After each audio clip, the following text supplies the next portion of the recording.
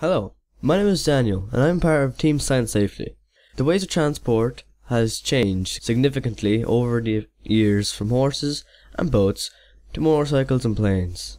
Despite all the progress in transportation, one of the most used modes of transport is the car. However, accidents involving cars are still happening. Throughout this video we hope to show you how we can make road transport safer.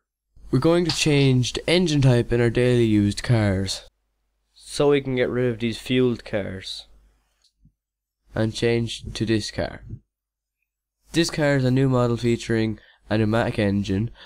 Let me show you how it works. We're going to be using the same mechanics as our fuel engine with our camshaft and crankshaft and a new timing system. The left and left hand pipe pumps a gust of air, forcing the piston downward, opening the exhaust pipe to let the pressure out, while the intake pipe closes. This prevents fuel leaking out and causing an explosion after a car crash.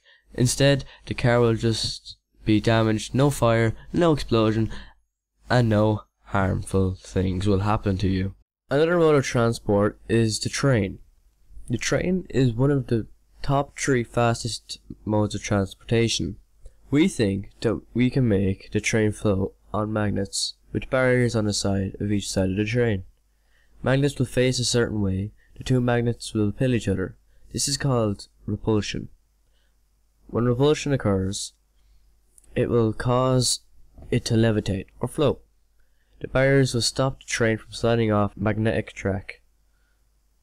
When the magnets glide, when repelling each other, it can go very fast, so it can make trains transport safer and faster. Thanks for watching this video. We hope you enjoyed the video and hopefully in the future our ideas will be implemented into reality.